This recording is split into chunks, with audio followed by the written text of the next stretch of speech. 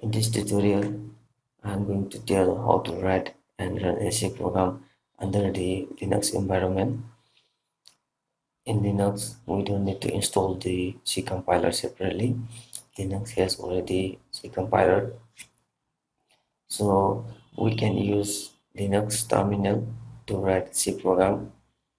To open the terminal, uh, you can press Ctrl Alt T to open the terminal or you can go to search bar and type terminal and click on terminal to open the terminal.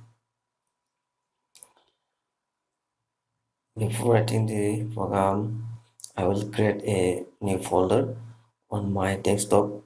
So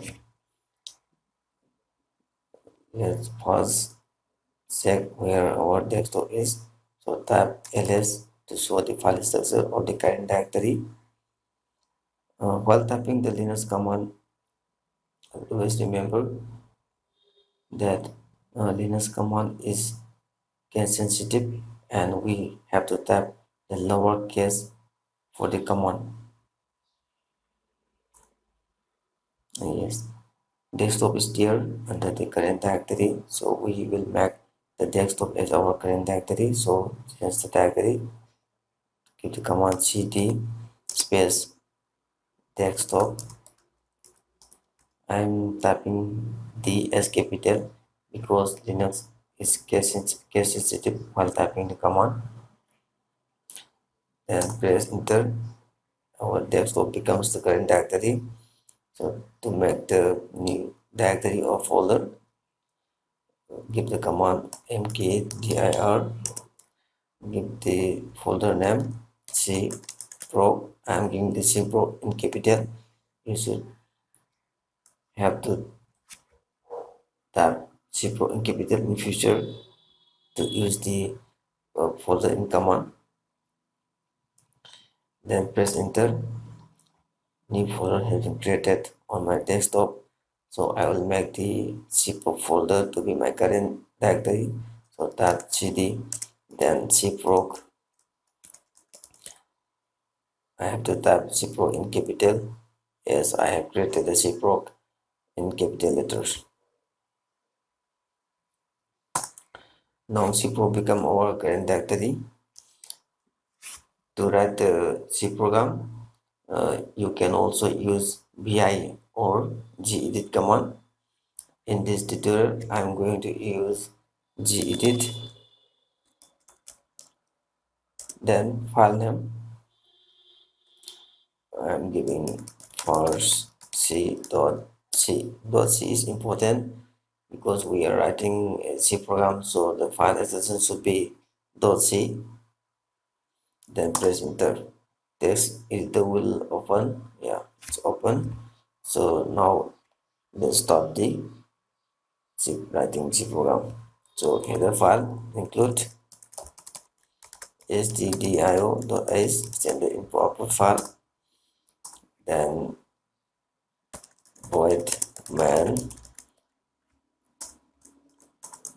I make the main function declaration with the returning type of void. Void means a null value. That means the main function will return no value at all. So uh, I'm writing here a program to show a simple text message on the screen so type in f function. Uh, this is my first c program under linux. I'm putting backslash n that means next line then semicolon. Every statement in the c program should be terminated with a semicolon otherwise it will show error now save the file then close it.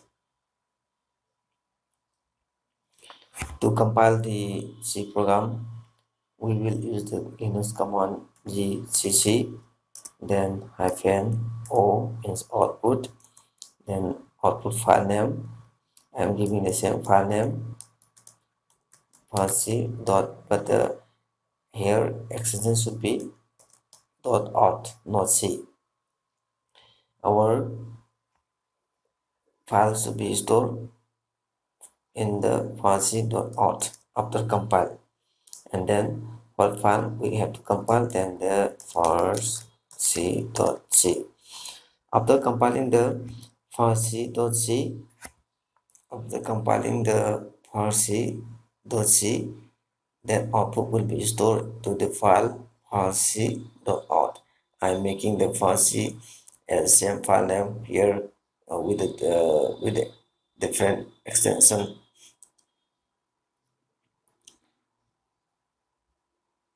And tap press enter to compile the file. It shows no message that means our C program has compiled successfully without any error. If there was any, any error it will show there. So to run the file type dot front slash and our uh, out file that we have declared first c dot out then press enter. Here is our outcome. This is my first c program under linux. This is what we have written in our c program. We write a c program and run it under the linux environment and this is the end of this tutorial. Hope you liked this video. Please subscribe and keep watching. And thanks for watching this video